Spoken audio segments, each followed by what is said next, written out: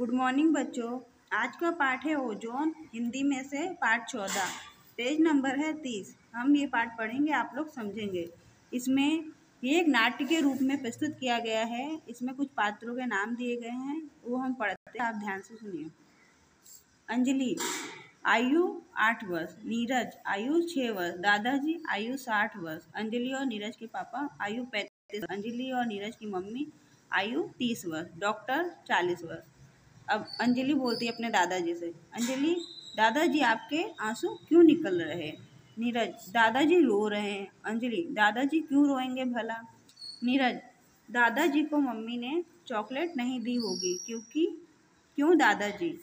दादाजी, नहीं बच्चों, मैं रो नहीं रहा हूँ। मेरी आँखों से धुआँ आँखों में धुआँ चला गया है, इससे आँसू निकल आए हैं। नीरज दादाजी आंसुओं को रोकिए। मेरी मम्मी कहती है कि आँसू बड़े कीमती होते हैं। इन्हें आँखों में ही जोड़कर रखना चाहिए। तो अंजलि, चल हट। मम्मी तुझे झूठ मूठ कहती है। तू रोता बहुत है। तुझे चुप कराने के लिए दादाजी धुएँ से आँसू क्यों निकलते हैं? तब दादाजी बताते हैं। दादाजी धुएँ में जहरीले कण होते हैं, यह धुआँ हवा को अशुद्ध कर देता है। जब यह धुएँ वाली अशुद्ध हवा हमारी आँखों में जाती है तो जलन होने लगती है और आँसू निकलने लगते हैं।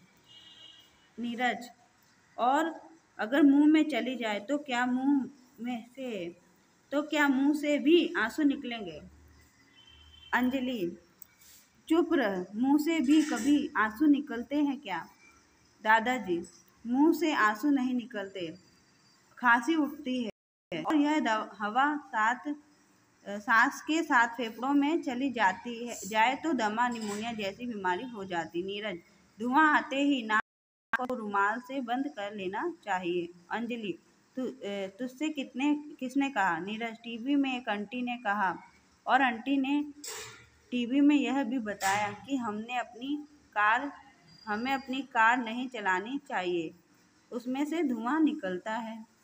अंजलि, यह धुआँ है ना दादाजी? नीरज, नहीं नहीं। यह सच है।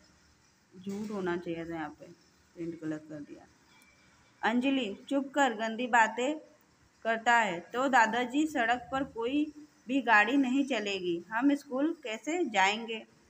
पापा ऑफ़िस कैसे जाएँगे? नीरज, साइकिल से। अंजलि, तेरा मतलब है कि मम्मी भी साइकिल चलाएगी। दादाजी, नहीं बच्चों, सभी गाड़ियाँ बंद नहीं होंगी। सरकार उन पर उन गाड़ियों को बंद करेगी जिससे बहुत धुआँ निकलता है।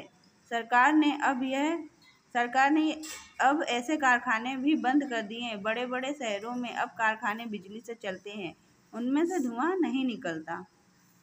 नीरज, कारखाने बंद हो जाए तो चॉकलेट कहाँ से आएगी? चॉकलेट तो भी चॉकलेट भी तो कारखाने में बनती है।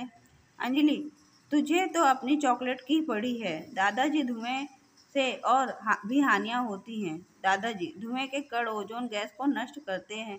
जो धुआँ हवाई जहाज़ों से निकलता है या इन गाड़ियों से का धुआँ उड़कर, यह 20 से 30 किलोमीटर ऊपर आकाश में चला जाता है। वहाँ ओजोन गैस की हानिकारक हानि पहुँचाता है। वह ओजोन गैस होती है। अंजलि, ओजोन गैस क्या होती है दादाजी? नीरज, ओजोन गैस नहीं जानती।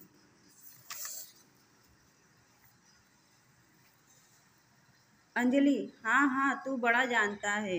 नीरज हाँ हाँ जानता हूँ। डॉन फ़िल्म में सिगार क्या है। डॉन फ़िल्म में सिगार पीता है? ना, उसके मुँह से निकलती है ओजोन गैस। अंजलि, तू तो पागल है।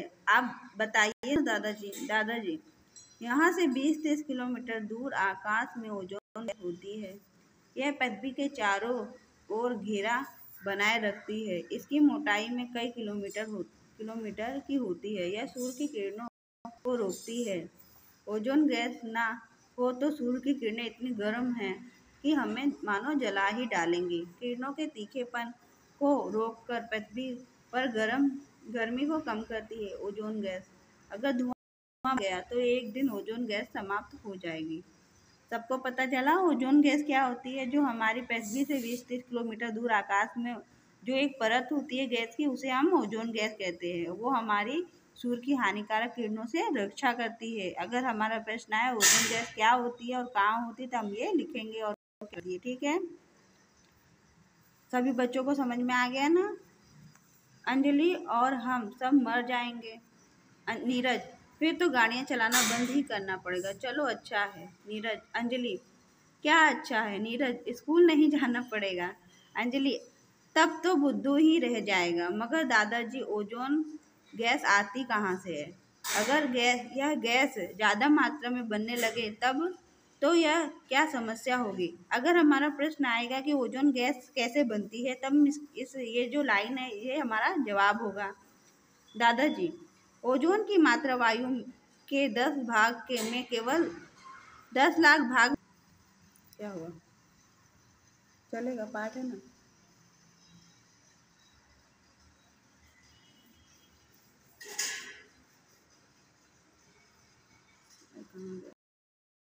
अंजलि, दादाजी धुएँ से बीमार हुए। नीरज, मैं धुआँ करने वालों को मारूँगा। अगर दादाजी को कुछ हो गया तो मैं उन्हें छोड़ूँगा नहीं।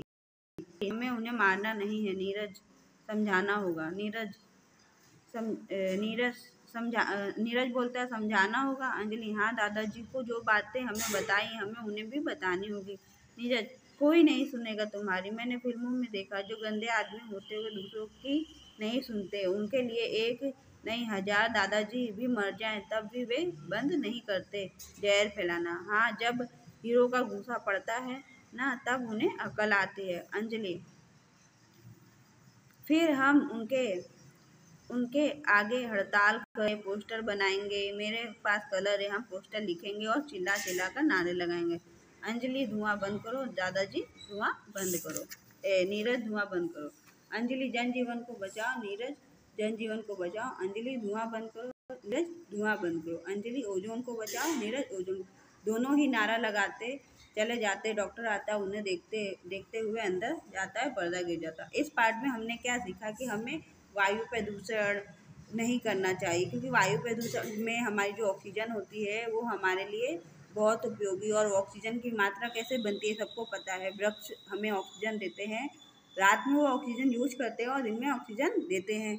लेकिन अगर हम पहली बात तो आजकल वृक्षों की कटाई ज़ोर शोर से चलती है किताबें बनाने के लिए, फर्नीचर बनाने के लिए, इन सब में तो वृक्षों की कमी होती जा रही है और सड़क विकासीकरण मतलब विकास बहुत हुआ ऊँची ऊँची बिल्डिंग बन गई, जंगलों को काट दिया गया है, इसलिए ऑक्सीजन की मात्रा बहुत कम बनती है, इसलिए हम लोगों को धुआँ कम करना चाहिए। अगर धुआँ कम करेंगे तो वायु, वातावरण साफ़ रहेगा, ठीक है?